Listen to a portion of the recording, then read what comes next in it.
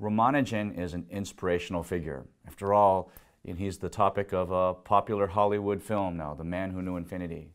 But he's much more than an inspirational figure to me. He's been, he's been a guardian angel to me. And as impossible as that might sound to believe, I have to tell you, he was, the news of Ramanujan was very important to me as a 16-year-old.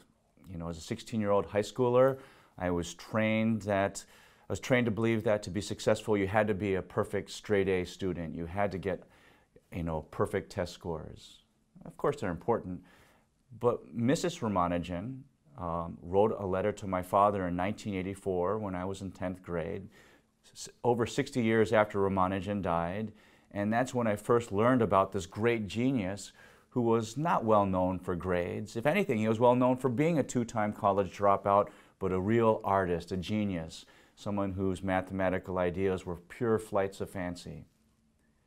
I learned about him again in college when the Nova special about him came out, and Professor Paul Sally, one of my most important mentors in my life, came along and, and we talked about Ramanujan and importance of his ideas. And then, of course, in graduate school, when the book, The Man Who Knew Infinity, came out, I, together with my advisor, Basil Gordon, we read it and we got a lot of strength out of it, at least certainly I did. And certainly at those three points in my life, as a high school student and a college student, later as a graduate student, I needed to be reminded and reassured that the time was going to come that I would be evaluated professionally for my achievement, not test scores and not grades.